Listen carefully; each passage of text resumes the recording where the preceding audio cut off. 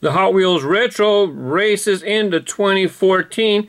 Here's the five cars in this batch. All of them. Well, actually, I shouldn't even say cars. Now that I look at them, I see uh, two cars, a truck, a flying spaceship, and uh, I don't know, what do you call that? An open wheeler, open roadster? Anyways, all of these, uh, lots of, let's see, uh, TV show.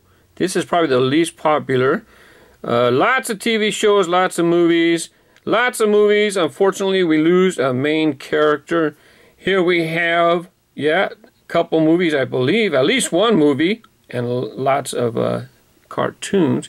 And this one, lots of movies. Many decades of movies. Let's go ahead and take a look up close at the Fast and Furious, the Fast 5 08 Dodge Challenger SRT8. This has a nice, slick black paint job. Real Rider tires. You can see some uh, side decals on the side. You got your uh, orange and red. We have some tail light tampos. I don't, uh, you know what? I think we do get some uh, decals inside. It looks like the uh, stick shift has been uh, painted silver. That's a nice little detail. Uh, a lot of these models, I'm going to go ahead and do uh, specific videos on them. Also has uh, some headlight decorations as well. Yeah, I think um, one, two, three, I'm put, all five of these are going to wind up in future videos. I haven't opened up any of the retros in a while, but all five of these are going to wind up in a video uh, in the future. Here we have the Star Trek USS Enterprise NCC 1701. This one has a little bit of extra tampos compared to the basic release. Oh, I forgot to mention the Fast 5. Yeah, it did get uh, nice rubber tires and decals, but it is missing. I think it said Hemi on the side of the basic release. This one here, some uh, added tampos on it. I'll do a comparison later on. Uh, no real rider tires, uh, of course, uh, no tires at all on this one. Not exactly one of my particular favorites, but I know people like to collect the Enterprise. Let's take a look at the Flintstones, the Flintmobile. This one uh, definitely got a big improvement compared to the basic release.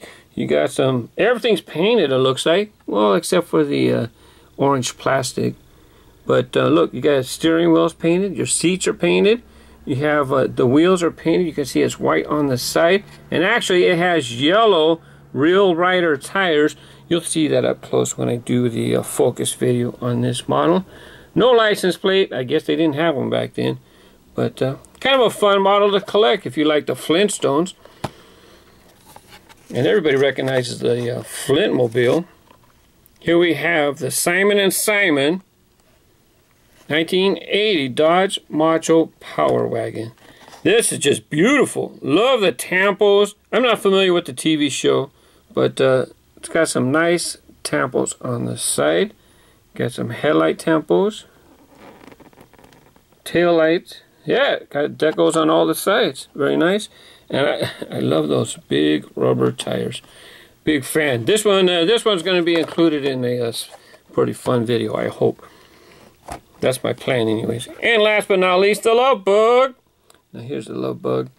It's got your number 53, pretty much the same tampos on the basic release. Actually, I don't remember if the basic release had the red taillights. The basic release did, definitely did not have the silver roof opening because Herbie was a, a convertible or uh, open, had a sunroof, I should say. It's not really convertible, had a sunroof. The other thing that's different between the retro and the basic Herbie is you can see the red stripe, white stripe, blue stripe, there's actually, uh, the basic only had two of the stripes. I think it was missing the white stripe. And actually, I'm trying to get a hard, but hard view on it here. But there's a silver stripe next to the red one. The basic one did not have that. So the retro Herbie the Love Bug gets uh, some added decals. It also gets the uh, real rider tires.